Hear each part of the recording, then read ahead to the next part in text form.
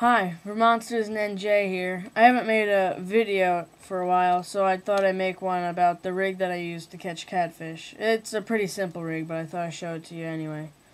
So what you need is a treble hook, barrel swivel, uh, a two ounce uh, weight, pyramid weight. Uh, it depends how deep you're fishing though. You could use a three ounce or more than that. Uh, and then a, a, like a slider, line slider, attached to a snap. Now what I do is I cut off about a foot section of line and attach one end to the swivel and the other end to the treble hook. I do that because, you know, catfish squirm around a lot and screw up your line if it's just one long line.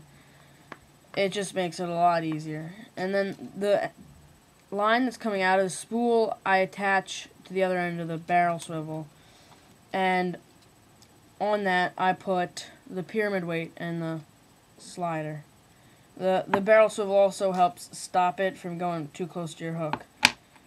Now you you use I'll use that like, you know, anywhere pretty much, anywhere pretty deep. And then and it's it works really well, you know, to catch bullheads and stuff.